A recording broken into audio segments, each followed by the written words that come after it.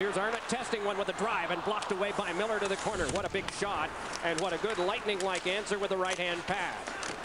Sekera closed off by Rod Pelley behind. Weber had a try at it. Arnott got it for Langenbrunner, for Corrente. Corrente turns back on. Arnott with it. Leading goal Oh, scorer bangs one that me, went off of. Rod Pelley. Oh, I'm sorry, Doc. I, I saw that all the way.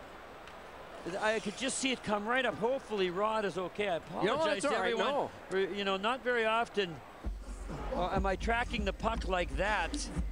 And it's a blast by big Jason Arnott and goes right off a stick.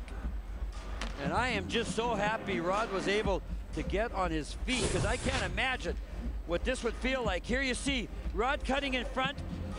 I'm just hoping maybe it caught a little bit of the helmet. Here we'll get a look. Right up here.